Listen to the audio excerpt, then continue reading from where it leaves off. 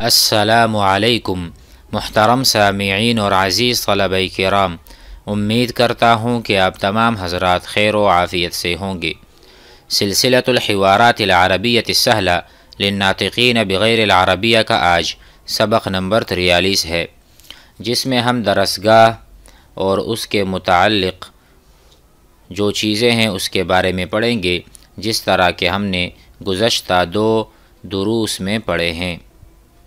तो आइए शुरू करते हैं। Paper clip. पेपर क्लिप को अरबी ज़ुबान में मिशबकुन लिलअवराक मिशबक। मिशबक यानी वो चीज़ जिससे हम सफ़ाहात को इकट्ठा यकजा करते हैं। मिशबकुन लिलअवराक़ी सफ़ाहात के लिए मिशबक। इसको हम मिशबक कह देते हैं। यानी अगर हम इसको जुमला बनाना चाहें तो हम कह सकते हैं, हादा मिशबकुल अवराक हादा मिशबकुन, ये क्लिप है। हादा मिशबक, ये क्लिप है।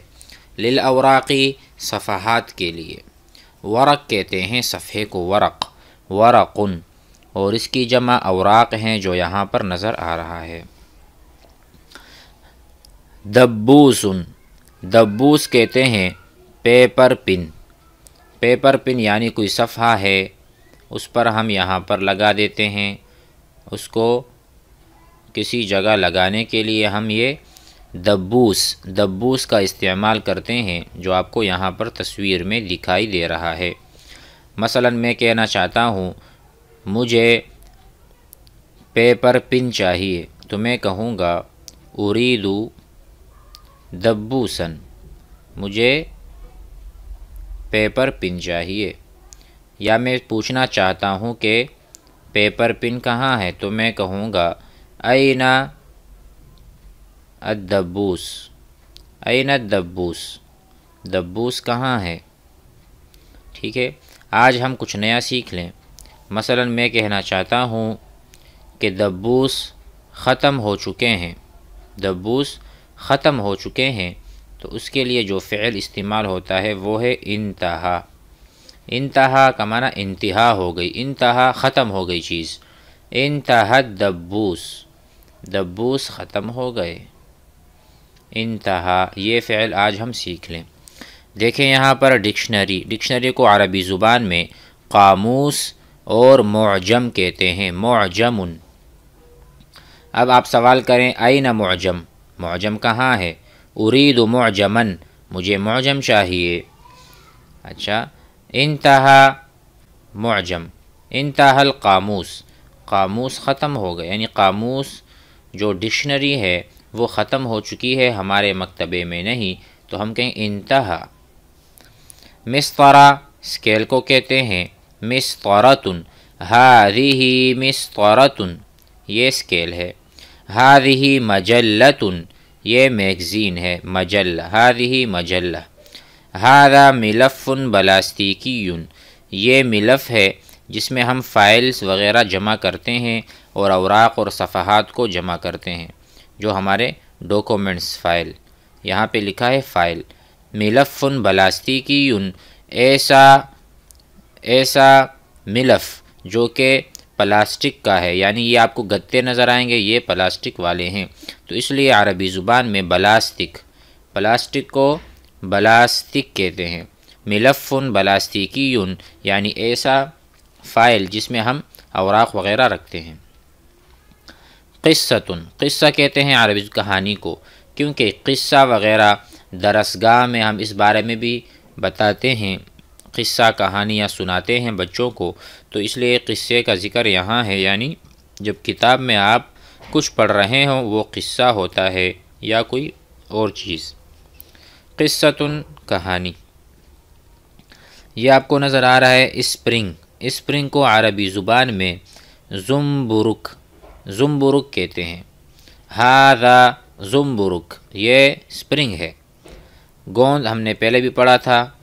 दोबारा आ गया है गुन लेकिन वो चूँकि बोतल की शेफ़ में था, बोतल वग़ैरह में इस तरह का रखा हुआ था गोंद। ले, और ये गोंद जो होता है, ये इस पैकिंग में होता है जो कि हम किसी चीज़ पर लगाते हैं, किसी कागज़ पर, फिर बाद में कागज़ को हम चिपका देते हैं।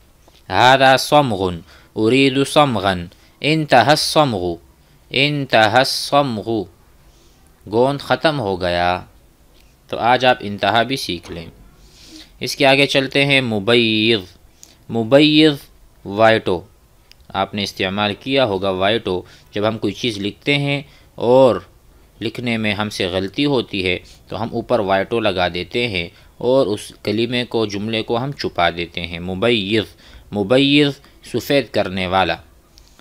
वाइटो, सफ़ेद करने वाला। किसी चीज़ को सफ़ेद करने वाला। इसके अलावा स्टेप लेज़र आपको नज़र आ रहा है? Stapler pin. स्टेपलर पिन कहते हैं दबाबीस दबाबीस हमने इसकी मशीन को भी पढ़ना है, जो इसकी मशीन होती है जिससे हम स्टेपलर करते हैं। इस तरह की मशीन होती है, उसको कहते हैं दब्बासतुन। दब्बासा। या हमने पिछले सबक में पढ़ लिया है। दब्बासतुन कहते हैं, और ये जो उसमें रखे जाते हैं, उसको दबाबीस कहा जाता है। दबाबीस। हारी ही दब्बासतुन, ये स्टेपलर है। आगे चलें। वरक़तु करबून। वरक़तु करबून, ये आपको नज़र आ रहा है। ऐसा वरक़ा जो कि रंगदार है। ठीक है ना? कार्बिन पेपर। कार्बिन पेपर ये हम इस्तेमाल करते हैं ताकि हम जब लिखाई करें नीचे भी लिकाई ज़ाहिर हो। अमूमन ये कंपनी वगैरह वाले जो लोग होते हैं, वो इसको इस्तेमाल करते हैं किसी खाता वगैरह बताते वक्त या जब बिल वगैरह पे करते हैं, पेमेंट वगैरह, वहाँ पर इसका इस्तेमाल होता है। वरक़त करबून, कारबिन पेपर। उम्मीद है आज का सबक भी याद हो गया होगा। इन एक और सबक बनाएँगे इस पर, या दो सबक, उसके बाद फिर हिवारात की तरफ़ भी जाएँगे दोबारा से। असलकुम ये ज़रूर इस्तेमाल करें अपने जुमलों में मुहावरात अल्फाज में, ताकि ये असमा हमें याद हो जाएँ। क्योंकि रोज़मर्रा हम किसी दरसगाह में पढ़ने पढ़ाने में होते हैं तो हमें इन चीज़ों की बहुत ज़रूरत होती है कि इसको अरबी ज़ुबान में क्या क्या नाम दिए गए हैं।